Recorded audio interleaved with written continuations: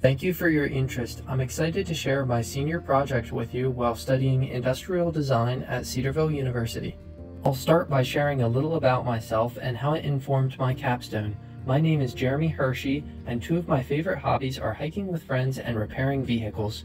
Through projects and adventures, I have learned to work with tools and the importance of safety.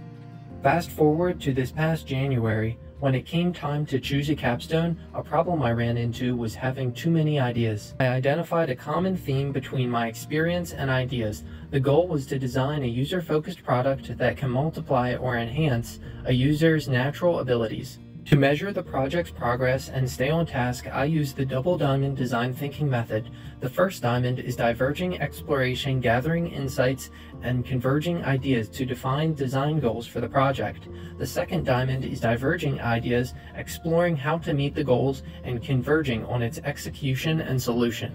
Dieter Rams is a man who has shaped the industrial design industry, and he based his work on 10 principles. One of the most well known is good design is as little design as possible. So, I had an idea to start as simple and broad as possible so no solution would be eliminated.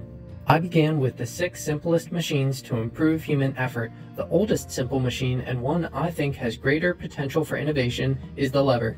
Next, I explored how it has been innovated. One of the first documented uses was by the Egyptians to build the Great Pyramids. Their use of levers was so effective that today, some may suggest that the Egyptians have needed extraterrestrial help. Next, Archimedes quantified how levers work. He said, Give me a stick and a place to stand, and I will move the world. Last, China is credited with adding a wheel and axle, creating the first hand truck as we know it. After exploring the potential of levers to create a mechanical advantage, I used a mind map exercise to figure out today who is using hand trucks, what they are used for, and where people are using them. Developing user personas helped me emphasize and connect with users' pain points. Even though we may not all use a hand truck every day, we are still affected by them. When was the last time that you were in a store with products on the shelves? Or got a package delivered. Hand trucks are an invisible worker used by a variety of industries and users.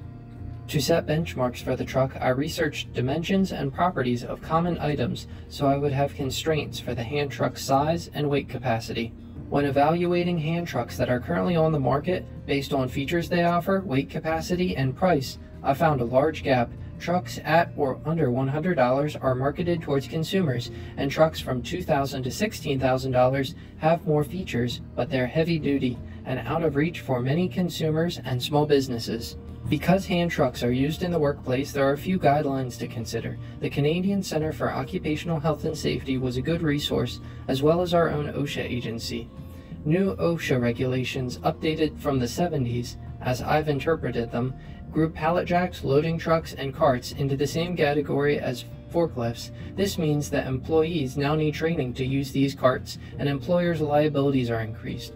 A light-duty powered hand truck would be able to bypass regulation and liability, but keep the mechanical advantage. There are compelling statistics showing the dangers of repeatedly moving heavy things. Liberty Mutual receives $13.4 billion in claims specifically related to pushing, pulling, holding, and carrying objects and over the 130 million health visits each year for musculoskeletal disorders, the majority are stemming from back issues due to lifting. To show how a hand truck can improve safety, we'll revisit how Archimedes was able to quantify the ability of levers. In this free body diagram, FR represents the reaction force and FE represents the effort force, and the distance is measured from the fulcrum. If the reaction distance is one-fifth of the effort distance, then it would take 100 pounds of effort to move a 500 pound load.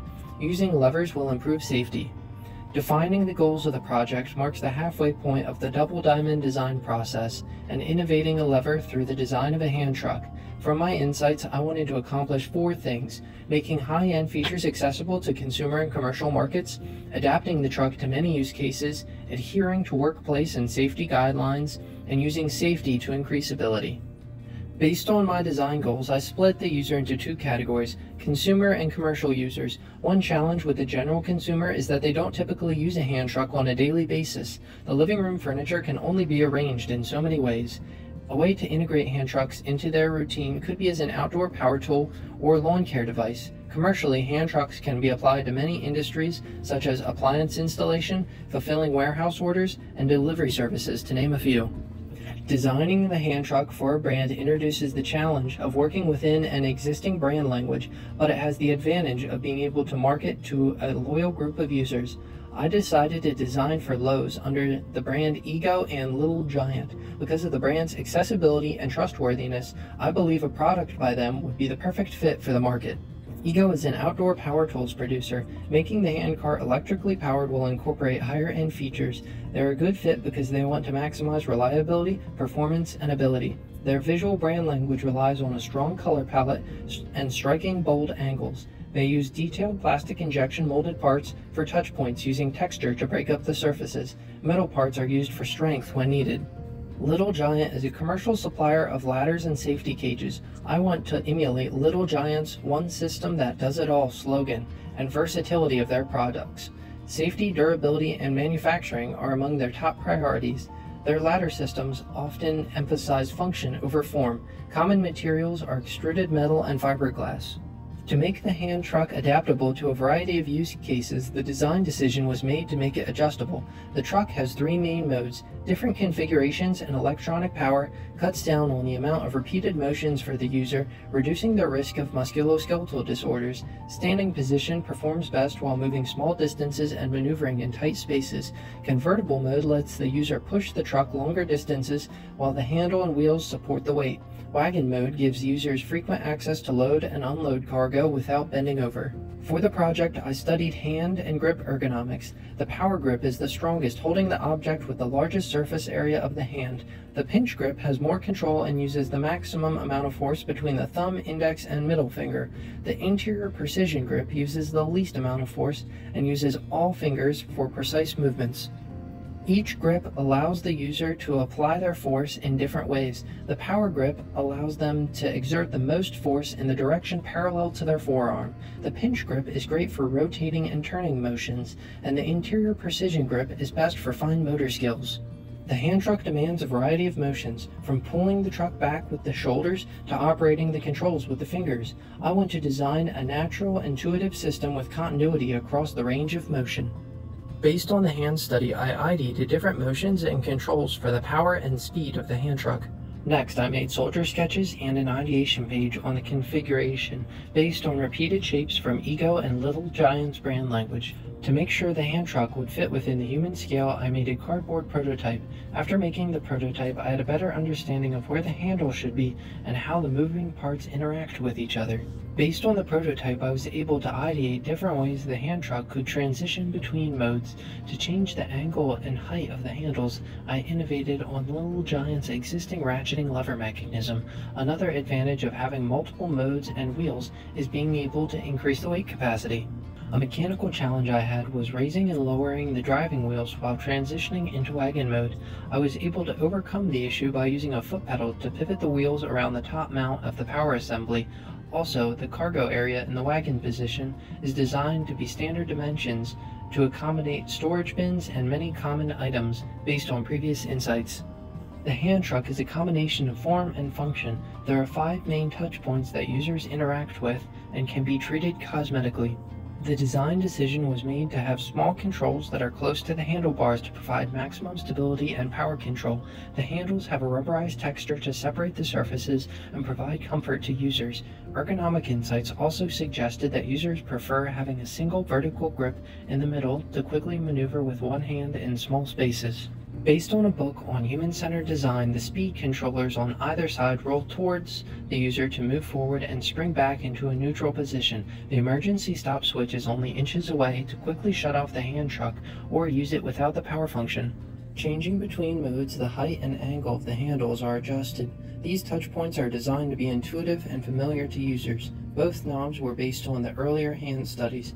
They should work well with a variety of people, with or without gloves. Having a protective case for the battery and electronics fits Ego's visual brand language and makes the hand truck better suited for a variety of jobs by resisting wear and tear as an outdoor power tool or in a commercial warehouse. Plastic injection molded wheel covers are another way to express the visual brand language. Both sets of wheels and other components fit standard dimensions to make them easier to manufacture and replace. The caster wheel has an extra clip that acts as a signifier. The clip lets the user know the caster wheel is securely locked in the aluminum extruded channel and the cart is in the standing position.